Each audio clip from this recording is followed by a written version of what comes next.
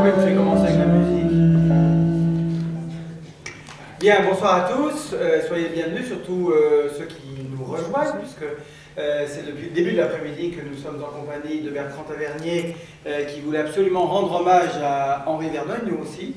ça tombait bien, et, j'en profite juste pour vous dire que la saison n'est pas tout à fait, tout à fait finie, puisque, outre que, on continue tout ce week-end, il y a la première du film de la fin demain, dont je crains, enfin dont je crains pas, donc je suis sûr qu'elle est déjà très très pleine, mais euh, on arrive toujours à faire rentrer à peu près tout le monde. Et puis euh, la semaine prochaine, Bernard Charder, euh, prévertien fidèle, vient de sortir un livre sur Préval le cinéma, c'est mercredi sur la date. Et puis jeudi, Samuel Blumenfeld vient de parler de Brian de Palma, puisque ça n'avait pas pu se faire le 4 décembre, donc c'est le 20 décembre. Mais le 21, 22 et le 23, tous à l'auditorium, pour ceux qui avaient gardé un bon souvenir des Lumières de la Ville l'année dernière, on remet ça euh, avec le KID et non pas les et non pas les temps modernes. Ça, c'est prévu pour normalement l'année prochaine quand les droits seront libres, puisque euh, euh, il se trouve qu'il y a eu un problème de droit et, là, pour le coup, vraiment indépendant de toute volonté tant de l'orchestre que de, que de l'Institut Lumière. on passe un assez bon week-end, là, outre que il fait froid et qu'on est bien dans une salle de cinéma, que ça nous évite de Et, parce, que, euh, parce que voir les films qu'on voit, euh, rendre hommage à l'homme qu'on accueille, c'est un moment de cinéma qu'on attendait depuis longtemps, depuis qu'en effet on avait montré aussi Maigret et l'enfant de cœur dans un week-end consacré aux, scénaristes dialoguistes. Quand on regarde cette filmographie, on s'aperçoit que 10, 15, 20 films euh, réalisés par l'homme qu'on accueille ce soir euh, sont passés dans l'imaginaire dans populaire, dans, dans, cinéma préféré. Euh, ce n'est pas forcément un critère, mais là en l'occurrence, ça laisse aussi pour ça que la soirée un peu de gala de ce soir, on voulait la faire avec un film qu'on a vu et archivu à la télévision, mais, mais, mais rarement au cinéma. Euh, surtout pour certaines générations. Euh, et c'est pour ça. Alors, pour euh, continuer cette présentation, je voudrais qu'on accueille Bertrand Tavernier qui va vous dire deux mots d'Henri. Bertrand Tavernier.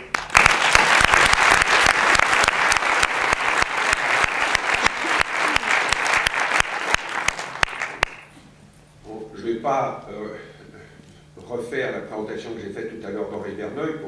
Il y a des gens qui ont déjà vu et pris, je pense, un grand plaisir à 1000 milliards de dollars, et, qui est un film qui pour moi est, un film, même s'il a eu succès à l'origine, que je pense que je place parmi les films un peu méconnus, et qui mériterait d'être redécouvert, revisité.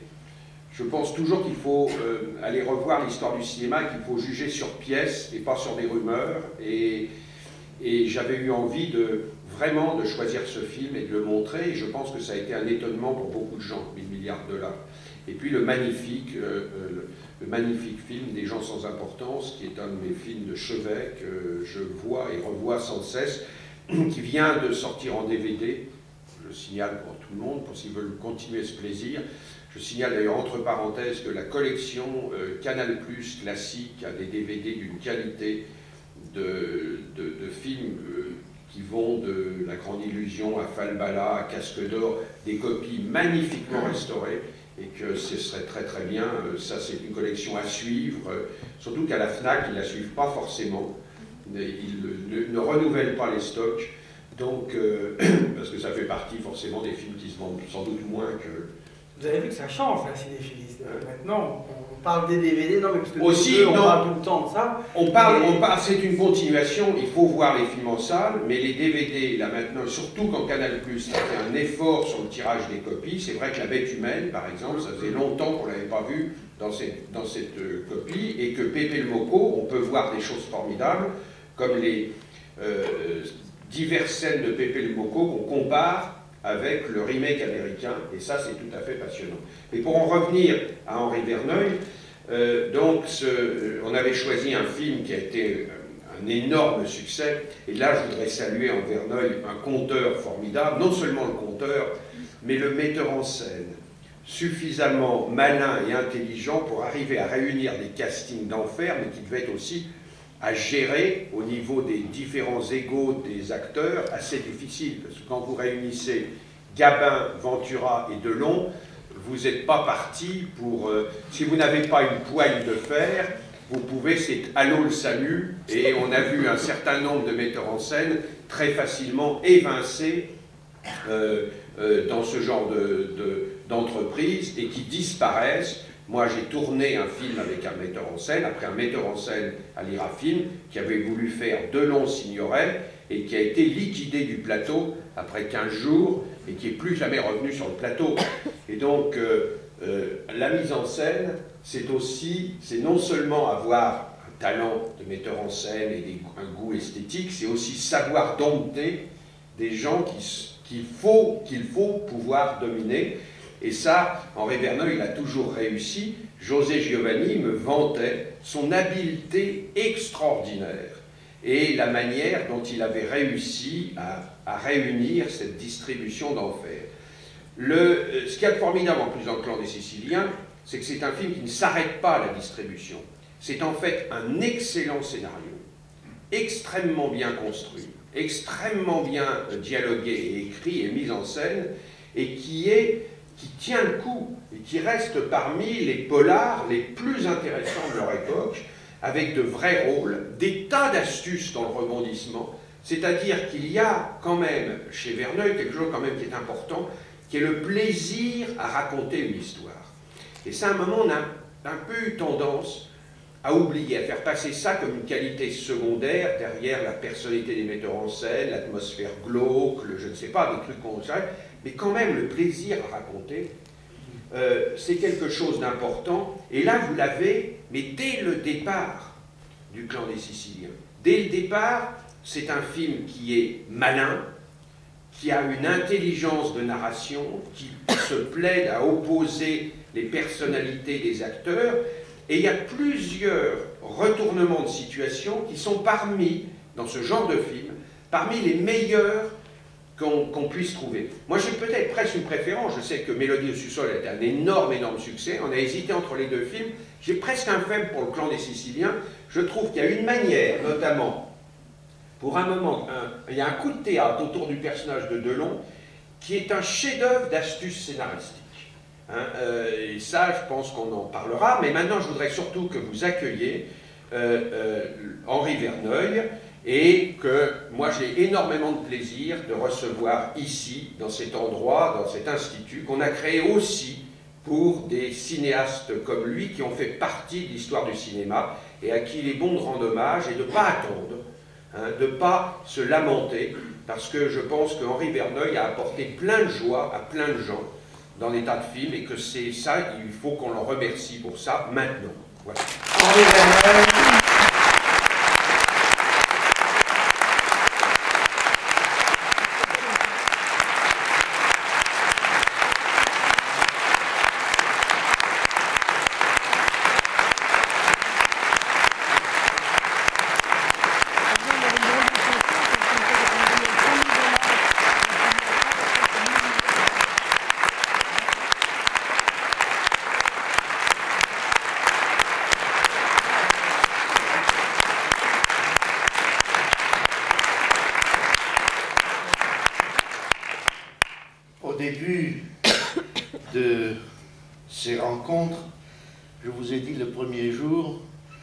C'était la fête de la longévité.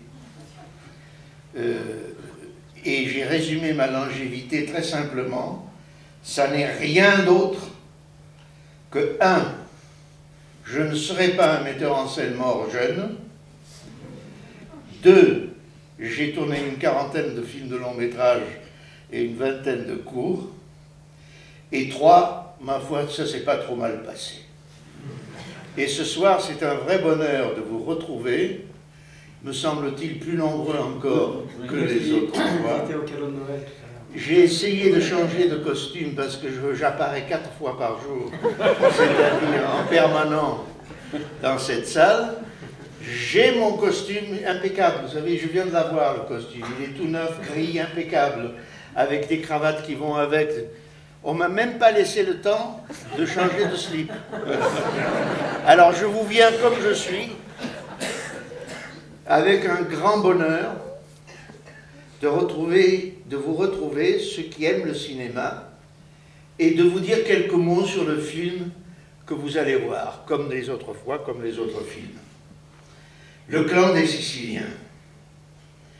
C'est une longue histoire que je vais vous faire très courte. Une demi-heure. Euh, c'est un roman d'Auguste Le Breton. Il y a une chose qui m'avait attiré dans le roman, c'est qu'il y a un hold-up, que l'avion qu'on attend à New York n'arrivera jamais à New York, là où il y a toute la collection des, bijoux. Il n'arrivera jamais à New York parce qu'ils vont la faire atter- atterrir sur une autoroute qui n'est pas finie et qui n'est pas encore mise en, circulation. Et à New York, toute la police les attend, à Paris aussi, hein. mais ils ne sont jamais ni à New York ni à Paris, ils vont atterrir sur euh, un bout d'autoroute. Mais ça, vous allez le voir tout, tout- tout à l'heure. Il n'y avait que ça qui m'intéressait dans le roman d'Auguste Le Breton. Il demandait 25 millions de, de l'époque, de, de- ce qui est un prix cher, mais enfin, c'est pas, pas idiot, c'est pas idiot. Mon producteur, qui était Alain Poiret, chez Gaumont, m'a dit jamais je lui donnerai ça. Je lui dis écoute, euh, il ne sait pas que nous allons avoir Gabin, Delon, Ventura, c'est une fortune que je t'apporte. Même si c'est un peu cher, ce qu'il demande, donne. Il faut savoir, c'est un peu ce qu'on ne trouve pas toujours en, en France. Savoir donner si on va euh, recevoir aussi. Vous voyez Comment 25 millions Jamais je lui donnerai. À ce moment-là, il y a Frank Sinatra qui lit le roman en Amérique et qui dit Moi, je veux le faire, ce film. Du coup, évidemment, monsieur, Poiret, monsieur Le Breton, monsieur le Breton. il dit c'est plus 25 millions, c'est 50 millions, et j'emmerde Monsieur Poiret. Et moi je suis au milieu, qu'est-ce que je fais moi Je dis, euh, le film, je vais faire le film. Et à ce moment-là, j'en reçois un coup de téléphone de Zanuck, de de, l'Amérique, qui dit, vous voulez faire le film On vous le donne. Vous le voulez avec euh, Sinatra J'ai dit, attendez, j'ai peut-être mieux. Parce que j'ai pas Sinatra, mais j'ai Gabin, plus Delon, plus Ventura. Il me dit les trois en même, les trois en même temps. Pas de problème au générique, aucun. Et j'enlève le morceau, j'ai donc euh, le droit de faire le clan des Siciliens. Eh bien, contrairement à ce qu'on pourrait penser, le film s'est passé très bien. Je crois, nous parlions tout à l'heure des rapports entre metteur en scène et, Acteur. je crois profondément, après 50 ans, j'ai signé mon premier contrat le 20 novembre 1950, donc il y a plus d'un demi-siècle que je fais ce métier. Je crois aujourd'hui, en fin de carrière, profondément que dans les rapports entre acteurs et metteurs en scène, la seule autorité qui est valable pour le metteur en scène, c'est la justesse de sa remarque. Quand vous dites à M. Gabin ou à M. Ventura, quand tu t'assieds, voilà ce que tu fais, il ne faut pas le faire et que c'est ça qu'il faut faire, ou c'est pas bon ce que vous dites, c'est pas professionnel, c'est idiot, il va vous envoyer promener. Mais si c'est juste, il va baisser la tête et il va le faire. Le rapport, c'est la justesse. C'est pas le metteur en scène, vous avez vu dans certains films le metteur en scène qui gueule Moteur, et alors mais- Non, non, non, vous épatez qui là? Bon.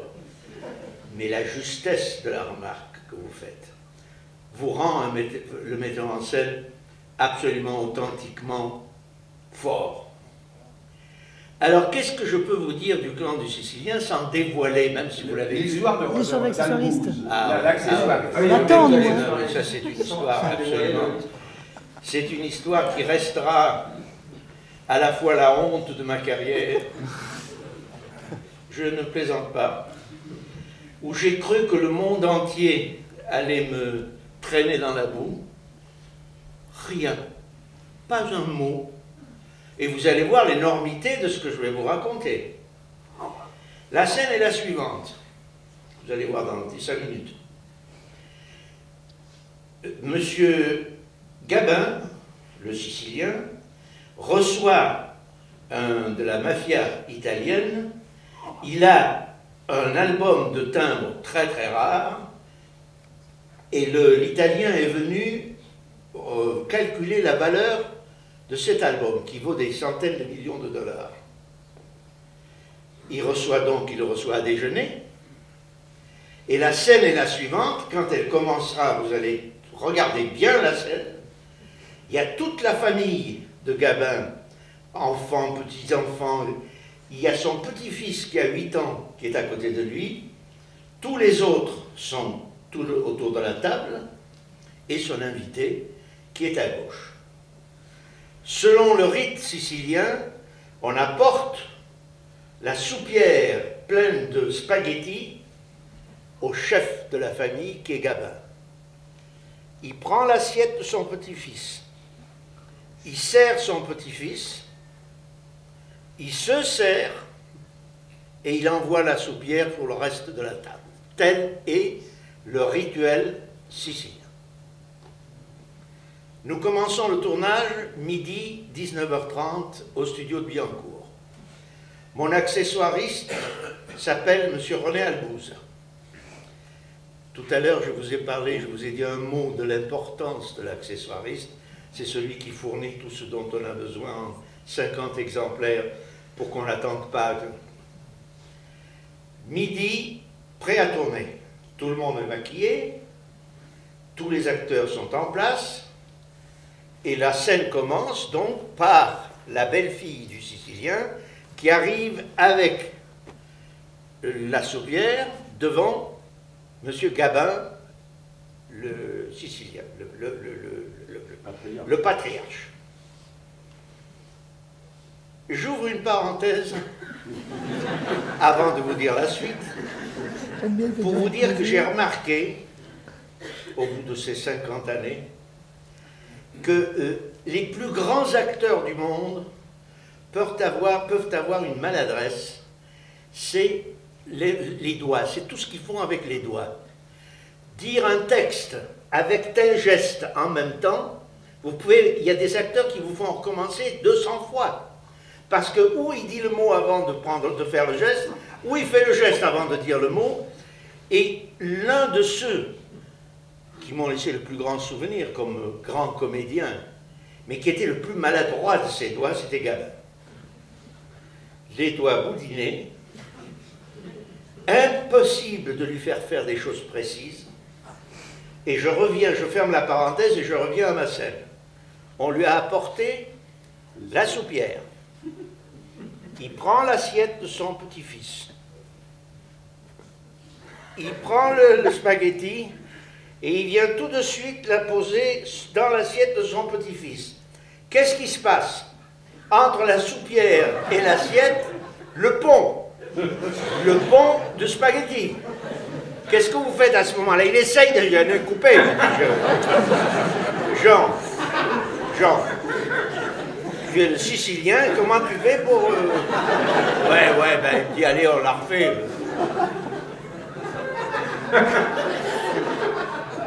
à la 24e prise, René Albouze, vert, blême, passe derrière moi et dit Monsieur Vernet, je vais craquer. Pourquoi? Il dit J'avais pris 17 kilos, 17 kilos de spaghettis. Et il n'y en a pas une de bonne dans ce que. Alors, euh, je calme tout le monde, le silence. Je dis, Jean, est-ce que je peux me permettre techniquement de te montrer ce qu'il faut faire pour que ça marche Elle me dit, viens le faire. Je dis, non, si je savais le faire aussi bien que toi, je ne m'emmerderais pas en ce moment sur le plateau en train d'essayer de faire le blanc. Je le ferai. moi, je vais te dire comment il faut le faire, et c'est à toi de faire. Alors, je dis, voilà, tu prends avec une fourchette, tu prends ton spaghetti, que tu montes très haut. Quand tu vois qu'il n'y a plus rien qui tombe, tu viens sur ton assiette et tu lâches tout. Et il n'y a plus de... Ouais, ouais. Et à ce moment-là, le gosse dit, qui s'embête depuis quelque temps. Le gosse dit Et moi, qu'est-ce que je dis? Et Gabin lui dit Toi, tu dis que dalle Que dalle est un. Vous le savez, ce que. Il dit rien. 32e phrase. Il fait ce que j'ai dit, il va jusqu'au bout. Il reste un peu trop longtemps, mais bon, ça fait rien. Il vient là, il pose le spaghetti, et à ce moment-là, le gosse fait que dalle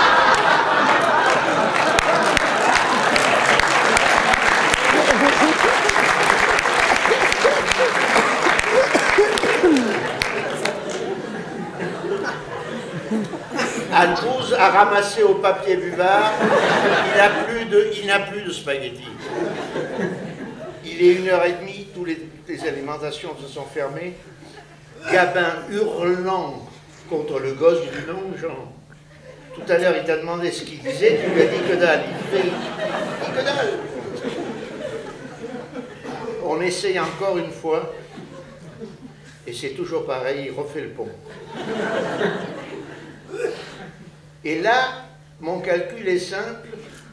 Si on continue comme ça, il y en a pour 25 ou 30 briques dans la journée. C'est cher les spaghettis, oui c'est vrai. L'acteur italien qui joue est obligé de partir le soir. C'est surtout ça qui a décidé de ma décision. J'ai dit à mon accessoiriste, est-ce que tu as une pince? Il m'a dit oui, mais c'est pas très sicilien. Et il avait bien raison.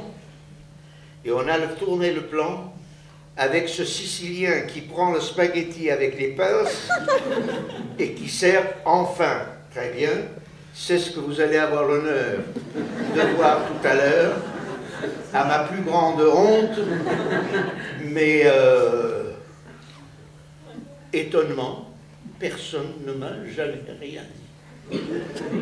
Alors continuez s'il vous plaît. Bon, on se retrouve à la fin.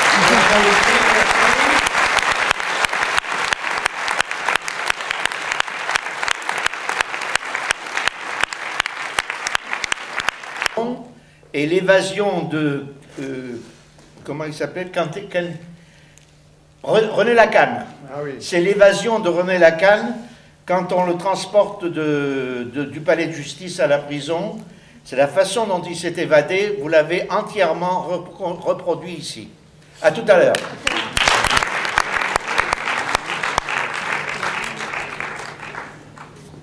Bon, évidemment, je dois vous dire que la copie n'était pas formidable, Ah, formidable, mais de dire. comme vous l'avez vu, en plus, elle a été sous-titrée suisse. Euh, Ah, c'est une allemand, mais cata. suisse. Euh, donc voilà, c'est la seule qu'on peut trouver, mais enfin, ça permet de faire des films sur grand écran. Oui, ben maintenant, ça permet de dire, Henri, maintenant, vous devez vous occuper de faire tirer une copie bonne, euh, avec l'aide qui doit rester sur le film, faites tirer une copie avec tiré du négatif qui soit, qui rende un peu euh, justice à la photo d'Henri Deca. hein. Vous, savez, la vous pouvez, hein, vous savez que la loi, moi je, la loi de 85 qu'on a fait passer à la SACD oblige les gens qui sont le- le- les ayants droit à avoir une copie dans l'état original, dans le format initial. C'est-à-dire que vous les sommez et vous tirent une, copie. hein. Voilà je- voilà.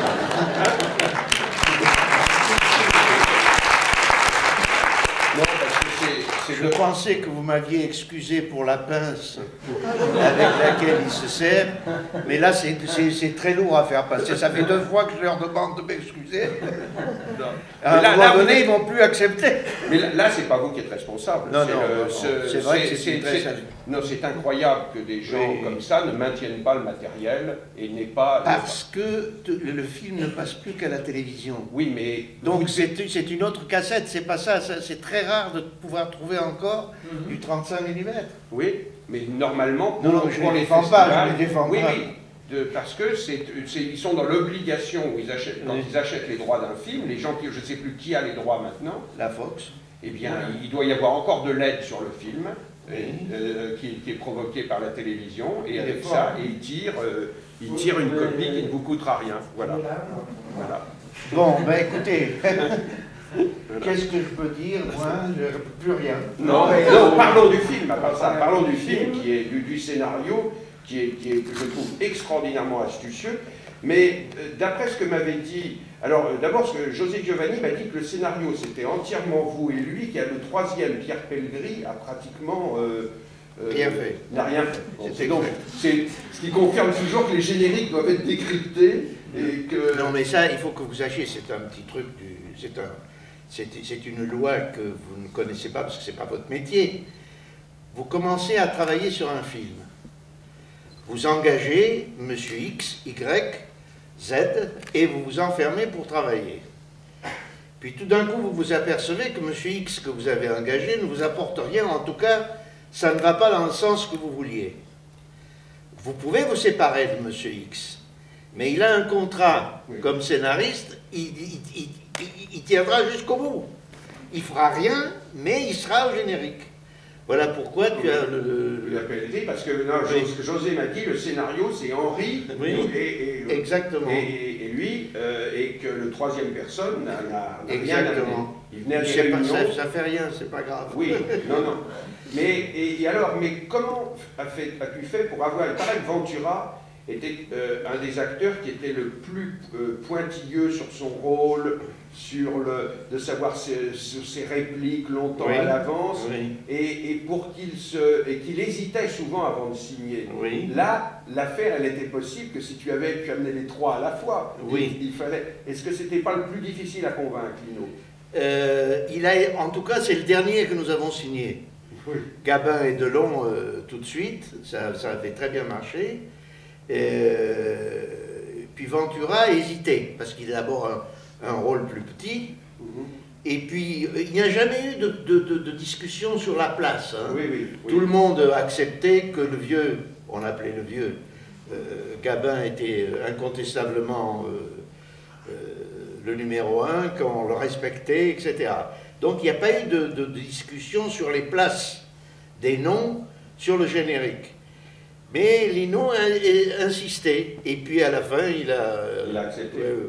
Parce qu'il a une, une, une apparition qui est formidable. Je trouve que quand euh, euh, Delon se retourne et lui dit Vous regardez Vous regardez mon cou, je et, il dit Pas précisément. Pas vrai. Et je trouve Mais je serai là, dites-vous. Oui, oui, mais je serai là, ce qui est, je trouve, une arrivée euh, du personnage qui est absolument formidable.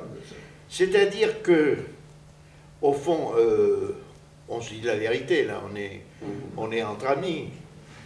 Euh, si on aime ce cinéma-là, toutes les règles de ce cinéma ont été appliquées ici. C'est-à-dire, qu'est-ce qui va se passer Euh, Ah Qui attendait qu'à l'arrêt à Paris, la femme de, l'assureur a dit à son mari Tiens, puisque tu vas, je ne connais pas encore New York, puisque tu as une place, euh, je vais venir avec toi. Bon. Et elle arrive au moment où Delon a pris la place de son mari. Ça, c'est un très très bon rebondissement. Croyez-moi, euh, quand on est souvent le papier, c'est très, long à, à trouver des, des rebondissements comme ça. Donc, d'après les règles de ce qu'il faut faire pour que vous ne vous ennuyiez pas, un divertissement avec des choses qui sont vraies, là, comme je vous l'ai dit, le, la, l'évasion de Delon au début de sa souris de, de- du camion, et c'est l'évasion de René Lacanne. Exactement, c'est comme ça que ça s'est passé. Euh, donc c'est le film type d'un cinéma qui a existé, qui existe toujours. On aime ou on n'aime pas, mais c'est un cinéma de divertissement.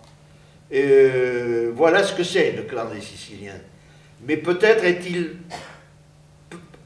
un peu plus réussi que d'autres dans, ce, dans, ce, dans, cette, dans cette catégorie-là. En tous les cas, moi je sais qu'il y a énormément de choses que j'aime et qui sont, je trouve, de- du très bon scénario et du, du bon cinéma. Et du, le- c'est du, c'est du cinéma, c'est Oui. ce cinéma-là. Voilà. euh, le, Je vous demande pas- on ne vous demande pas d'aller voir ça du matin au soir, mais de temps en temps, euh, un clan des Siciliens avec Gabin, Delon, Ventura, ben écoutez, euh, ne crachez pas dessus. mais- on ne crache pas, on est loin de cracher. Mais mais, Gabin, Je, parle à mes camarades, là. Gabin qui dit à Amedeo Nazari je te reconnaîtrai, on se reconnaîtra à l'aérodrome, tu verras, je n'ai pas changé. Et, et, euh, je trouve Et ils sont face à face et il faut qu'il n'y ait plus personne pour qu'ils se reconnaissent. reconnaissent. Je trouve que c'est une très bonne idée de scénario, ça. La personne qui ne se rend pas compte qu'il a changé, et c'est simplement quand il voit qu'il est tout seul avec les autres, Oui. qu'ils ont tous les deux changé.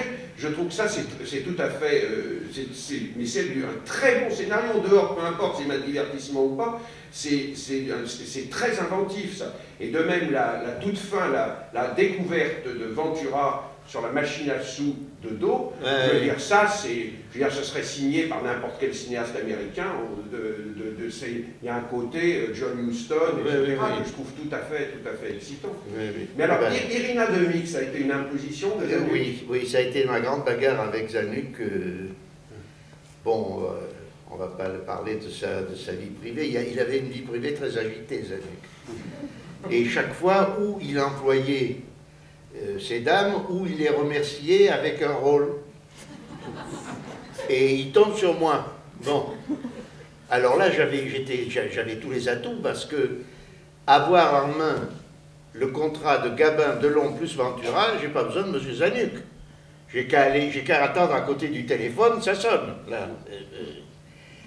Et donc, euh, je suis allé le voir à, New York et on a eu une grande bagarre jusqu'au moment où je lui ai dit, vous voyez, j'avais la plus grande joie du monde de tourner avec le plus grand producteur du monde, parce que vous l'êtes, et je suis désolé d'être navré que pour une question de cuisse, mais comment, qu'est-ce que vous voulez dire par là? J'ai dit, vous savez très bien ce que je veux dire.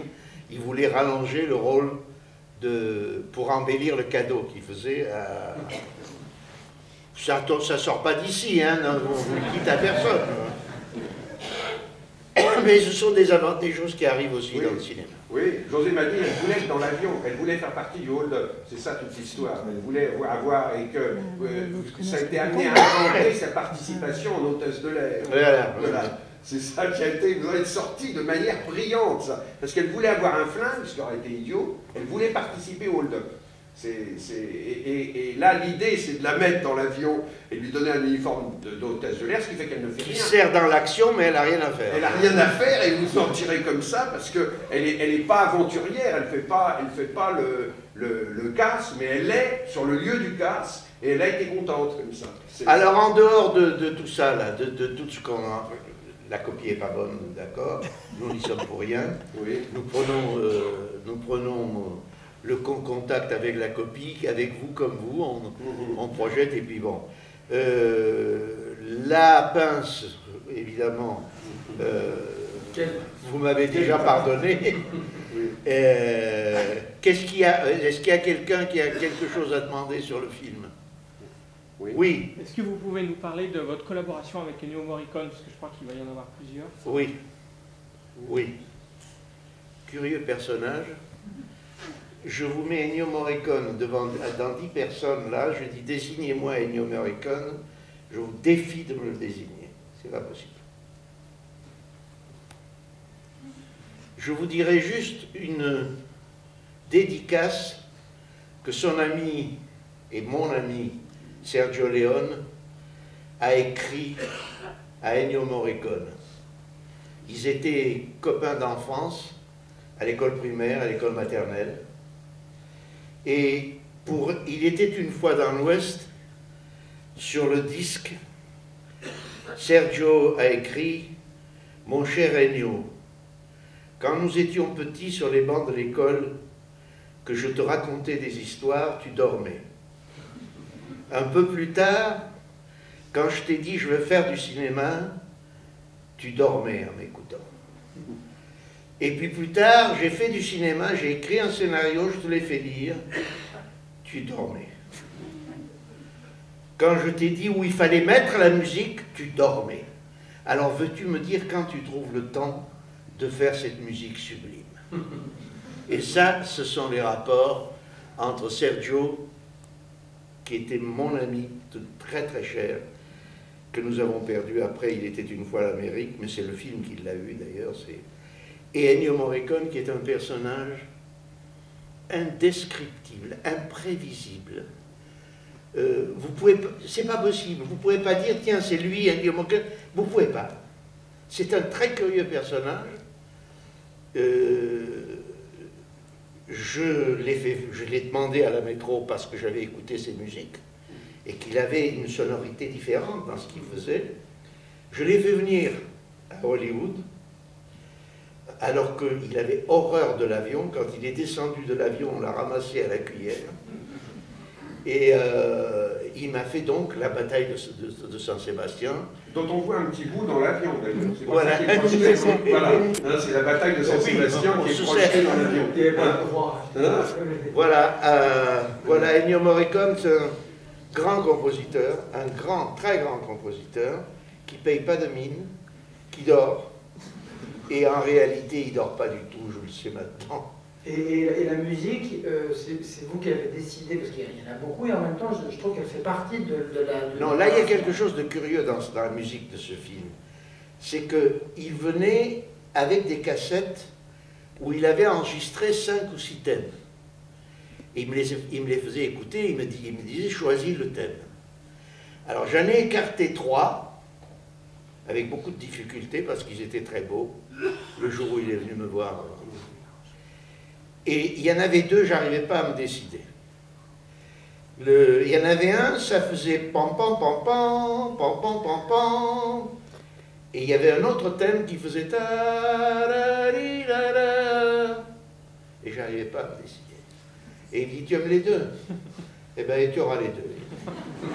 Et, vous avez cette musique qui commence par le tam tam, et derrière vous entendez. ta-ra-ri. Il, a, il a mis les deux thèmes, sublime, sublime mélange. Ah oui, oui. La, la musique est absolument formidable. La musique du casse, tout le monde connaît la musique du casse. Euh, qu'est-ce, que, qu'est-ce qu'on peut dire? C'est, c'est un très très grand, quoi, voilà. Tu assistes à, l'enregistrement de la musique de Ah oui, oui. Il, il faut dire que nous avons un problème, euh, nous les cinéastes. Si vous prenez, c'était pas le cas de Morricone, et maintenant je crois qu'il est devenu lui aussi comme ça. Si vous prenez un compositeur très important, il va vous jouer à un moment donné, pendant la préparation, le thème. D'abord, ils jouent tous très mal du piano. Deuxièmement, ils chantent faux. Alors quand avec le piano qui joue faux et qui chante faux, il vous fait les trombones, les trompettes, les mains, vous, vous êtes perdu. Et vous prenez connaissance de votre musique, vous, le réalisateur, le, le matin où 120 musiciens sont dans la salle, le chef lève la baguette et quand il la baisse, vous commencez à entendre votre musique. Donc si elle ne vous plaît pas, il y a 120 musiciens qui sont là.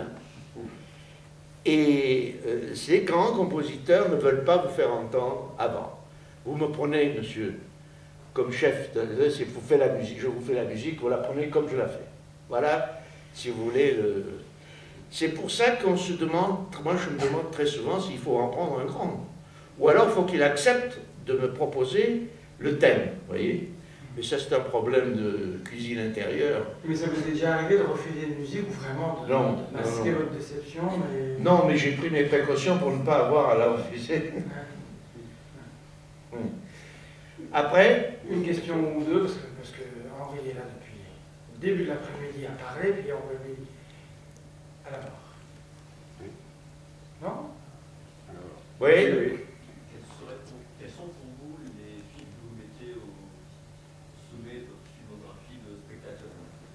Quels sont Ah, les... Les films, les films que vous mettez. Non, non. Les, Les films- films préférés. Non, vos- les, les films dans sa filmographie Là, on a sa filmographie. Oui, alors dans, dans votre filmographie, quels sont les films que vous, vous préférez?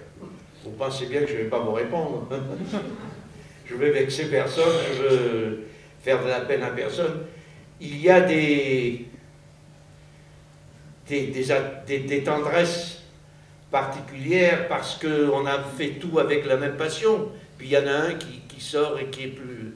Évidemment, un Saint-Jean hiver est le film que, que je préfère. Bon. Et puis, euh, d'ailleurs, on le projette demain. Si vous avez un moment, venez le voir. C'est un, c'est un grand film, non pas parce que je l'ai fait, c'est pas parce que je l'ai fait que je vous dis ça, c'est un grand film parce que c'est un grand roman d'abord, d'Antoine Blondin, et il y a deux grands acteurs face à face, Gabin et Belmondo. Et euh, c'est un film très difficile, très difficile à faire, parce que ce sont deux hommes qui boivent, et on peut très facilement les confondre avec deux ivrognes, et ils ne sont pas des ivrognes.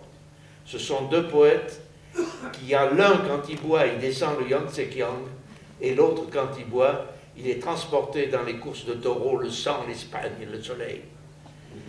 Et quand vous avez vu que cet alcool ne sert que de véhicule pour qu'il retrouve le passé, ça c'est difficile, très difficile à faire. Et euh, bon, on l'a pas trop mal réussi, je crois. Alors il y a celui-là, puisque vous me demandez évidemment un numéro un, mais il y en a d'autres. J'aime bien euh, le président, j'aime bien Week-end à Zuidcote, j'aime bien bon, même La vache et le prisonnier, c'est amusant, c'est voilà. Il y a un peu de tout dans. Je, je- je crois que je suis assez content d'avoir varié toujours très souvent le. Je, je- je- je- je n'attends pas que les gens attendent ce que je vais dire. Je peux faire des, je fais des Vous revendiquez euh, d'une certaine manière l'imagination. Le- Voilà, voilà. Je suis un raconteur, je suis d'origine arménienne, euh, intégré complètement. Euh, arménien, je reste, mais plus français que moi, tu meurs. C'est ça mon intégration. Et euh, je reste un conteur oriental, voilà, qui vous raconte des histoires et qui attend que vous vous demandiez qu'est-ce qui va se passer après. Et si vous savez ce qui va se passer après, alors j'ai tout perdu. Que la copie soit bonne ou mauvaise, qu'il y ait une pince ou qu'il n'y ait pas une pince. En même temps, dans On a d'autres- tout- dans j'ai d'autres tout films, foutu il y a- en même temps, dans d'autres films, il y a plus que ça. Et dans la 25e heure, il y a, il y a- Oui, euh, oui. que on les, qu'on les aime ou qu'on les aime pas, il y a un certain nombre de films qui sont, en plus que de raconter une histoire, qui parlent 1000 milliards de dollars, ça parle aussi d'autre chose que de raconter une histoire. La, la 25e heure, l'un singe en hiver, Week-end à Zuidcote, même le corps, le corps de mon ennemi. Ah oui, c'est un de mes préférés aussi. Oui, c'est un film, c'est un, euh, ce- c'est, c'est un film sur le couple, sur la fin de l'amour, sur un nombre de choses. euh, c'est, c'est-à-dire qu'il n'y a pas seulement ça, c'est pas vrai. Il y a pas, ça, c'est une défense de dire il n'y a pas seulement le raconteur d'histoire, il y a aussi une personne qui veut faire un film sur autour de l'assassinat de Kennedy. Euh, Il y a euh, Maxime qui évoque la belle époque et, et tout un monde presque autour de Proust. Euh, euh, Il y, a, il y a- il y a autre chose que ça. Ça, c'est une défense de dire euh, je ne suis qu'un raconteur seul. Bon, allez, mettons que je ne suis, pas- je suis pas un tocard, ça va. Mais en tout cas, euh, en tout cas pour, pour fi- pour finir, parce qu'on on voudrait, on- en même temps qu'on s'en ira, on va aller inaugurer la plaque euh, sur le mur des cinéastes. C'est pour ça qu'on vous fait faire un détour pour pas que vous passiez devant depuis tout à l'heure. Euh, mais vous allez voir, on va vous emmener. Mais un- une chose, euh, moi qui, quand j'ai expliqué que- qu'on faisait ce week-end Verneuil ici, un de mes copains journalistes me dit Ah, ben alors moi Verneuil, je découvre. Euh, Je vois plein de cassettes, je vois plein de DVD. Alors je dis, bah, bienvenue au club, il est quand même temps. Il me dit, mais moi, on ne m'a pas appris à aimer Verneuil. Parce qu'il dit, on m'a appris à aimer la, la nouvelle vague. Et, et- et c'est d'une certaine manière un compliment et un regret dans sa bouche. Non, non, c'est-à-dire que je suis arrivé à un moment où euh, ce cinéma-là a été, décrié, et j'en ai pris plein la figure euh, à ce moment-là. Puis tout ça s'est très, très, très bien arrangé. Et maintenant, euh, vous voyez que, que je suis reçu, je suis en train de- Je suis heureux d'être avec vous. Merci en tout cas d'avoir été avec nous. Et puis, euh, continuez à aimer le cinéma. Et, et- et à demain. C'est ça qu'on aime bien, nous. Voilà, cher Henri, euh, la tradition veut que, rue du premier film, euh, tous les gens qui y passent, euh, ils voient leur nom apposé sur une plaque, sur le mur des cinéastes. Et, il n'y a pas si longtemps, Nani Moretti, Patrice Lecomte sont venus, Bertrand Blier, et euh, on voulait évidemment... Il était temps que j'arrive alors. J'allais m'oublier. C'était c'était pour ne pas vous oublier. Je sais, je sais. Alors, euh, on va vous inviter, euh, on va vous inviter à tirer sur ce truc là. Qui va exploser. Ouais. En, en vous tournant parce qu'il y a plein de photos. Tournez-vous. Voilà. Et voilà, c'est je. 1, 1, 2, 3. Voilà.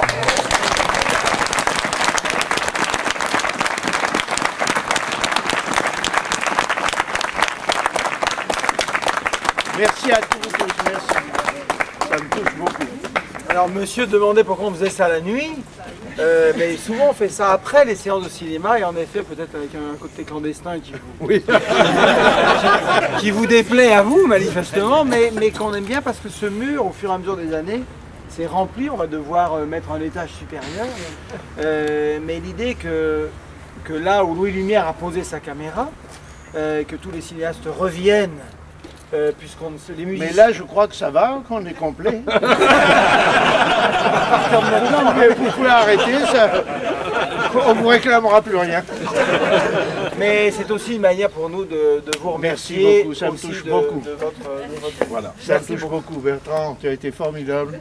Merci à vous tous. Et merci à vous.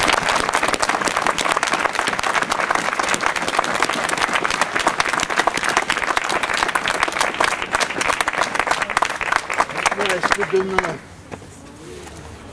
Oui, c'est difficile de. Bon, à demain. c'est Venez, au revoir.